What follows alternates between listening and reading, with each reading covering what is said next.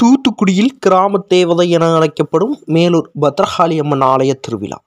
அம்மன் பச்சை சாத்து அலங்காரத்தில் வீதி உலா. ஏராளமான பக்தர்கள் சுவாமி தரிசனம். திமுக மாவட்ட பிரதிநிதி தெர்மல் சக்திவேல் விழாக்குழு தலைவர் சைவத்திரு கீதா செல்வம் மாரியப்பன் உள்ளிட்டோர் பங்கேற்பு. தூத்துக்குடியில் உள்ள கிராம தேவதை என அழைக்கப்படும் பழமை வாய்ந்த மேலூர் பத்ரகாளி அம்மன் ஆலய தை மாத திருவிழா உற்சாகமாக கொண்டாடப்பட்டு வருகின்றது. இதனை முன்னிட்டு அம்மன் தூத்துக்குடி நகர முக்கிய வீதிகள் வழியாக வீதி உலா வரும் நிகழ்ச்சி நடைபெற்றது. தூத்துக்குடி நம்மாழ்வார் தெரு பகுதியில் அம்மனுக்கு பச்சை மலர்களால் ஆன பூக்களால் அலங்காரம் செய்யப்பட்டு பச்சை சாத்து நடைபெற்றது. பின்னர் சிறப்பு தீபாராதனையும் அம்மனுக்கு நடைபெற்றது. பின்னர் பித்தளை சப்பரத்தில் அம்மன் வீதி உலா நடைபெற்றது. தூத்துக்குடி நகர பகுதியில் இரண்டாம் கேட் சிவன் கோவில் தெரு ரத வீதிகள் வழியாக அம்மன் வீதி உலா வந்தார். இதில் திமுக மாவட்ட பிரதிநிதி தர்மல் சக்திவே விழாக்குழு தலைவரும் திமுக வட்டச் செயலாளருமான சைவ திருக்கிதா செல்வம் மாரியப்பன் முன்னாள் மாமன்ற உறுப்பினர் கந்தசுவாமி ராஜசேகர் உள்ளிட்ட ஏராளமான பக்தர்கள் கலந்து கொண்டு அம்மனை தரிசித்து வழிபாடு நடத்தினர். இந்த நிகழ்ச்சி ஏற்பாடுகளை விழாக்குழு தலைவர் சைவ திருக்கிதா செல்வம் மாரியப்பன் மற்றும் பச்சை சாத்தி கமிட்டியினர் சிறப்பாக செய்திருந்தனர்.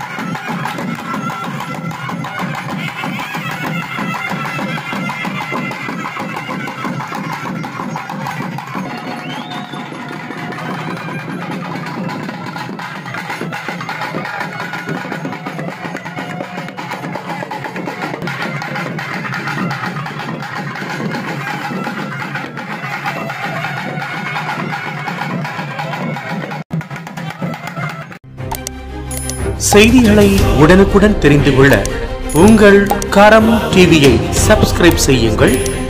அதோடு பெல் பட்டனையும் கிளிக் செய்யுங்கள்.